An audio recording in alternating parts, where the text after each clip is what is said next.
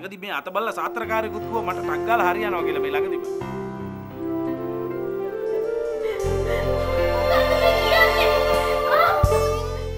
එහෙම කාරණාවකටත් එක්ක තමයි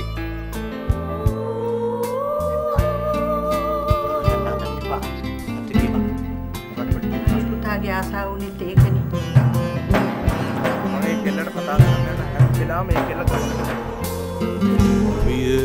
වියරු සුලඟ වැද පරව ගියද මල සුවඳ පර නොවේ. මේ ශෝභා මගේ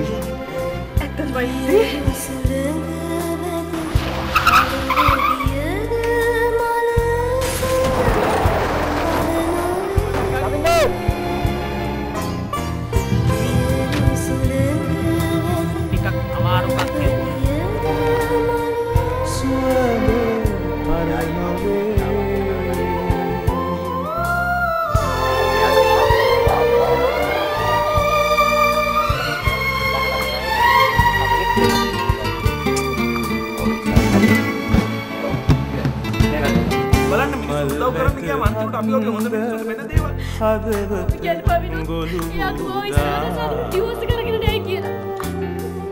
කෝලෙකු ගැයුවේ ගීතය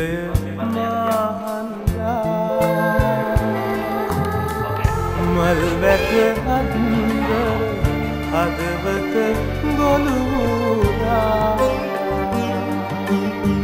කෝලෙකු ගැයුවේ ගීතය මහන්දා